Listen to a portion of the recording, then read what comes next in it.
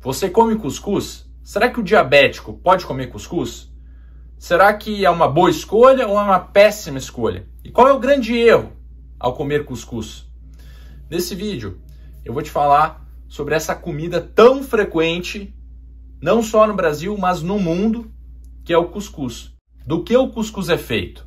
Ele pode ser feito de arroz, de trigo ou de milho. Esse último, o de milho, é o mais frequente aqui no Brasil. Disparado, de longe, é o mais frequente. E qual é a composição dele? Para você entender se ele é bom ou se ele é ruim para diabéticos. Para o café da manhã do diabético, por exemplo. A cada 100 gramas de cuscuz, de milho, nós temos 25 gramas de carboidrato, que é uma quantidade considerada alta.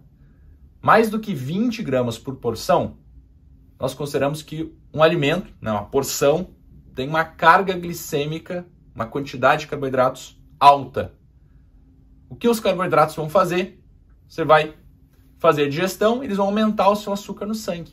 Esse é um dos fatores que nós consideramos, a quantidade de carboidratos. Então, a cada 100 gramas, nós temos 25. Se você comer uma porção média, que é em torno de 200 até 250 gramas, você vai ter aí mais de 50 gramas de açúcar, de carboidratos. E agora, a outra coisa importante, que é o índice glicêmico. Quanto que esse carboidrato vai aumentar o seu açúcar no sangue? Como ele vem do milho, ele tem um índice glicêmico considerado moderado. Alguns estudos colocam que esse índice glicêmico é considerado alto, mas a maioria gira em torno de 65 até 70. Maior do que 70 seria alto. Então é um ponto também que fala contra o cuscuz. Se você considerar e comparar com outros tipos de açúcares, de carboidratos, você vai ver que o índice glicêmico do cuscuz é bem alto. Se você comparar, por exemplo, com o carboidrato da laranja com bagaço, fica em torno de 40. Do carboidrato da goiaba, fica em torno de 25.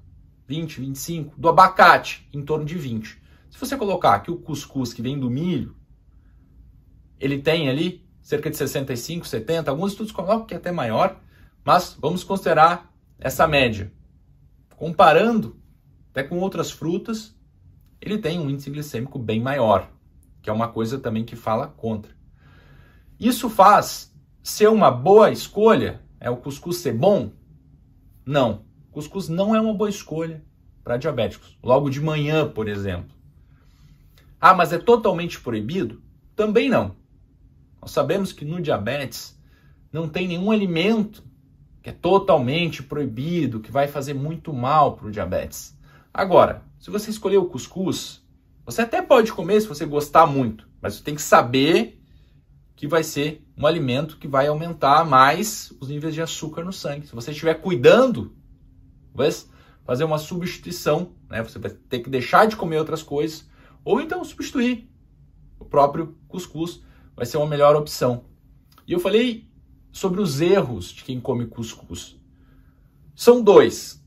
O primeiro erro é que você coloca muita manteiga e aí sim você aumenta muito a quantidade de gorduras. No curtíssimo prazo, você vai alterar essa absorção. Vai ser uma absorção mais lenta, só que vai aumentar muito a quantidade de calorias e de gorduras, inclusive gorduras saturadas. Vai aumentar o seu colesterol. E a longo prazo, também esse excesso de manteiga, às vezes a pessoa coloca 3, 4 colheres de manteiga, uma porção de cuscuz, é muito. Vai ter todo aquele processo de aumentar a resistência à insulina, que para o diabético é péssimo a longo prazo. Tá bom? Então, primeiro erro colocar muita manteiga. Se você até né, puder evitar manteiga, faz uma receita sem manteiga, vai ser bom para sua saúde, também para o diabetes. O segundo erro é achar que se você colocar chia, linhaça ou farelo de aveia, você está fazendo o cuscuz um alimento bom para diabéticos.